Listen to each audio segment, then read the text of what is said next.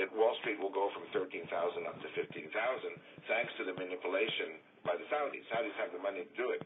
Oil prices will go down to 250 a gallon. I know you're taping this. This is going to be it.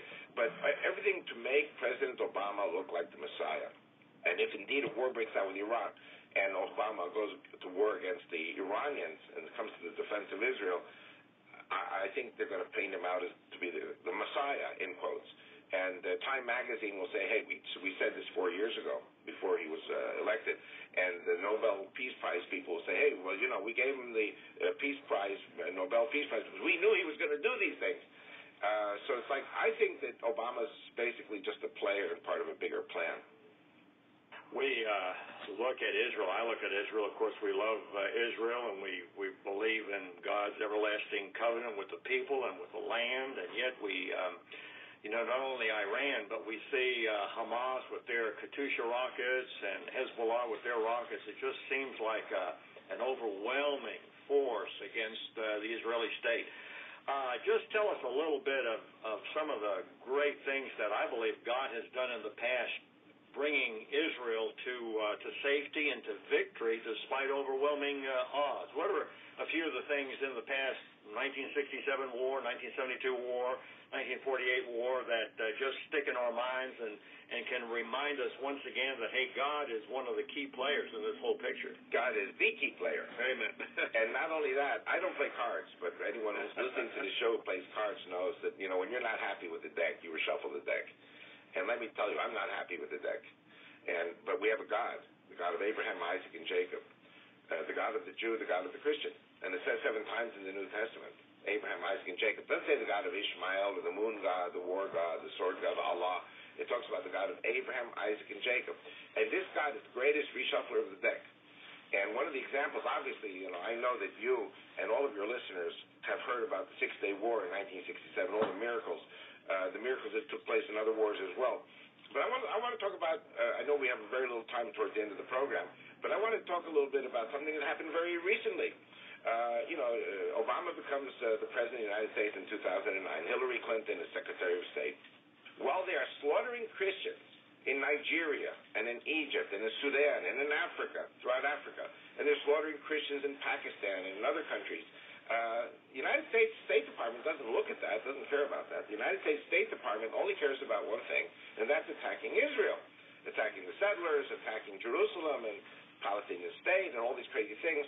And uh, two years after this crazy administration comes into office, some Tunisian fruit vendor uh, self-immolates. He burns himself to death because uh, his cart has been confiscated. He was slapped in the face by a woman, a police woman there.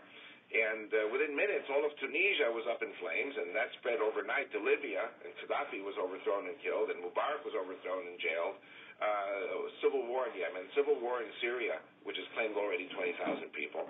And uh, I see the whole Islamic Arab Middle East uh, disintegrating. God is reshuffling the deck. And, you know, I participated in war games at general staff level in the Israeli army in 1996, and at that time we saw Syria, which is a very dangerous threat to the existence of Israel. Today, Syria is a shell. Syria is a shadow of it, what it was. Today, Syria is disintegrating. And by projection, Lebanon is disintegrating. And what we will be seeing will be a war with Iran in which the Iranian people will be actually liberated by President Obama. If not by President Obama, it'll be President Romney. And what we will see indeed is the overthrow of this crazy, crazy Shiite regime. It will re- be replaced by a United Nations administration, I believe, a one world government. I believe uh, Iran will be divided up into Russians, Chinese, American, British, and other zones.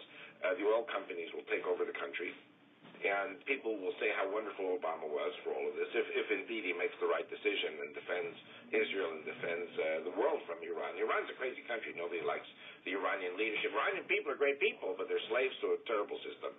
Um, but what I'm thinking is, indeed, that we see this Arab Spring destroying the entire Arab world. Uh, I have news for you, uh, and I talk about this in my most recent book, the Return to Mecca book, and that is that the Arab Spring is going to come to Jordan and Saudi. And when the Al Qaeda, who by the way are already in place in Saudi Arabia fighting the Saudi army, when the Al Qaeda's hand begins to be uh, on top of the uh, king, kills the king and the Saudi princess, because the Al Qaeda they're not Shiites, they're Sunnis, but they also want to kill everybody. Uh, then when they say we're going to blow up all the oil wells to deny the Christian economy of the West the oil, then the one world government, I call it the harlot riding the dragon, is going to come and say, no way, Jose, ain't going to blow up those oil wells. We're going to bring in the NATO forces, Russia, Israel. We're going to come in. We're, we're going to completely occupy Saudi Arabia. So this same Arab Spring, God is reshuffling the deck again. And God has yet to reshuffle the deck. And then what's going to happen is, and I predict this in my book, Arabia, which is where the Exodus took place, Arabia, which is where Mount Sinai is, is the same Arabia which Israel will return to conquer uh, under orders from the one world government. And at that time, we will fulfill the borders of Deuteronomy 11, which will be Lebanon, Syria, Jordan, Saudi, and Sinai Peninsula.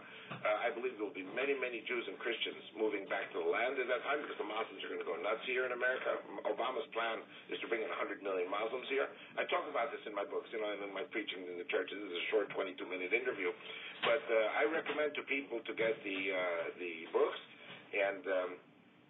going back to Israel, God willing, in a few days. I don't know when I'm coming back because I'm forming this Judeo-Christian political party to run for the Israeli government elections. And I'm just very honored every time to be here, and I'm honored and blessed and happy to serve the Lord. Well, thank you so much, Avi Lipkin. What a great blessing to uh, have such expertise and knowledge from Avi Lipkin.